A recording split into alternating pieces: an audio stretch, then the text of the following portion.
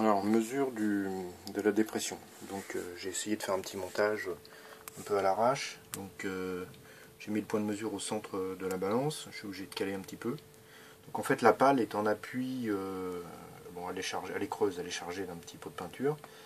elle appuie en permanence sur, la balance. Donc, en fait, si j'appuie ici, on voit bien que la masse augmente. Évidemment, si je soulève, la masse devient négative. Voilà, ok.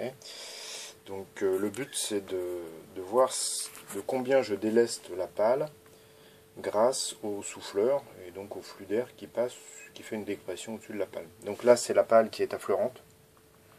Donc euh, on va voir euh, de combien ça. Voilà, donc là je, je l'ai taré à zéro. Je vais mettre en route.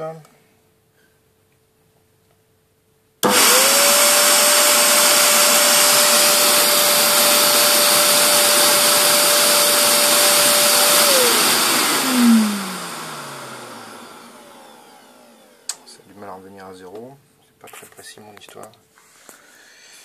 Alors j'ai essayé de me mettre un peu plus au centre.